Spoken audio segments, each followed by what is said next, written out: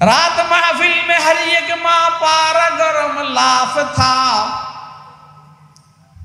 रात महफिल में हर एक माह पारा गरम लाफ था सुबह को खुर्शीद जू निकला तो मतला साफ था सुबह को खुर्शीद जू निकला तो मतला साफ था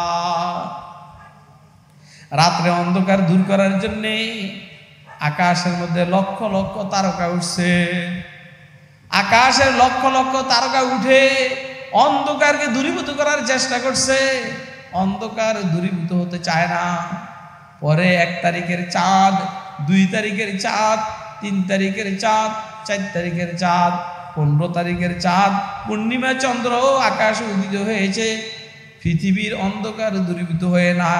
তুলনামূলক আলোকিত একটু বেশি হয়েছে মগর অন্ধকার দূর হয় না।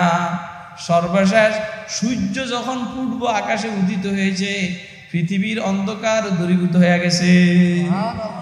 তদরূপভাবে নবুয়তের আকাশের মধ্যে আদম আলাইসাল্লাম উদিত হয়েছেন।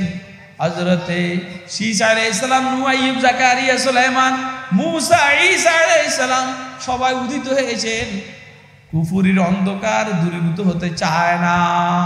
সর্বশেষ মক্কার পাহাড় থেকে মোহাম্মদ রসুল্লাহ নামক নবুয়তের সূর্য উদিত হয়েছে।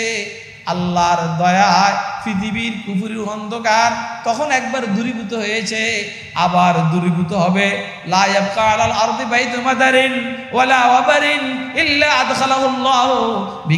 ইসলাম হুজুর বলছেন, কেয়ামতের পূর্বে একটা সময় আসবে, পৃথিবীতে কোনো কাঁচা ঘর থাকবে না, কোনো পাকনা পাকা ঘর থাকবে না, কোনো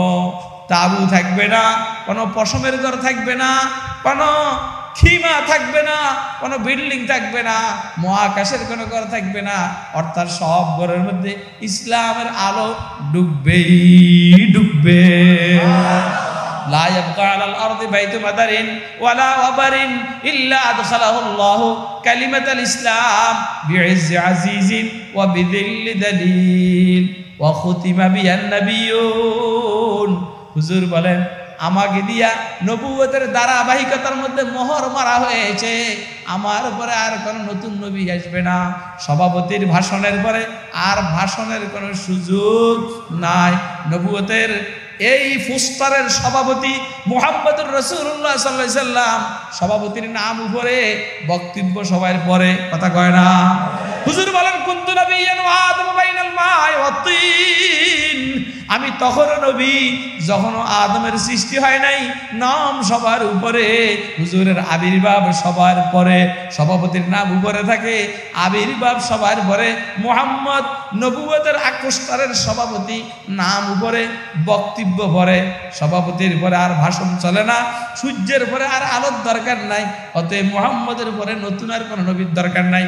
এখন থেকে চোদ্দশো বছরের ভিতরে নতুন কেউ নবুয়তের দাবি করেছে, যেই করেছে সেই বাটফার, যেই করেছে সেই কাফের, যেই করেছে সেই কাফের, সেই ইসলামের দুশ্মন, সে মোহাম্মদের দুশ্মন, সে দিনের দুশ্মন, সে মুসলমানদের দুশ্মন। সামনের দিকেও যারা নবুয়তের দাবি করবে, তারাও মোহাম্মদের দুশ্মন, ইসলামের দুশ্মন, মির্জা গোলাম আহমদ কাদিয়ানি, ইসলামের দুশ্মন, মুসলমানদের দুশ্মন। নবীর দুশ্মন, খবরদার। কখনো আমরা এদের ষড়যন্ত্রের জালে পাওয়া দিব না। অর্থাৎ বুঝেননি? না না, আসলে বুঝেননি। বুঝেন, এইটা শেষ কথা, ভালো করে বুঝেন। হুজুর সাল্লাহ সাল্লামের পরে আর কোনো নবী আর এখন কাজ করব কে? কাজ করব ওলামাই কেরাম। আর আমাদের কাজ হলো ওলামাই কেরামের অনুসরণ করা। আল্লাহ বুঝার, মানার। আমল করার তৌফিক দান করে ওয়াখরুদ আওয়ানা আলহামদুলিল্লাহ রব্বিল আলমিন